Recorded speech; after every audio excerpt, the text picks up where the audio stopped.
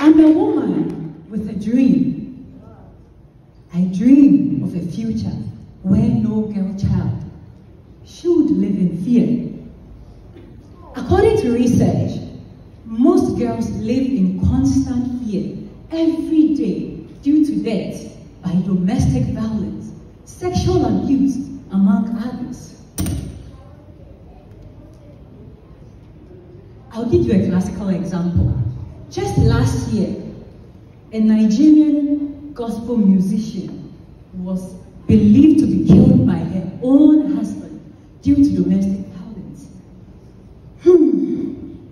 May her soul rest in perfect peace. This is the reason why we must intensify girl child education. When we educate the girls in our countries by helping them build their capacities, not only will they be able to stand on their feet, but also they will be able to own their own voice and speak up when they are troubled.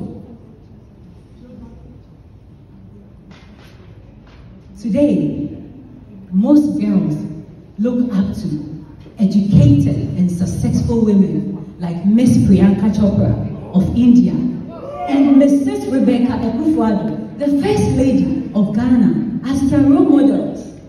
And I am here today on Milestone Pageant because I am educated.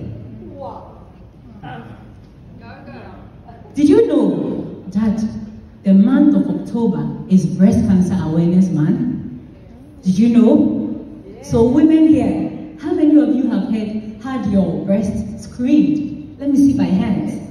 Beautiful, well done. If you haven't done it, I will entreat you to go and have your breast screened. The men here, I'll also encourage you to tell your wives and the women in your lives to also go and have their breasts screened. It's very important. Together, let's educate the girl child for a better tomorrow. I am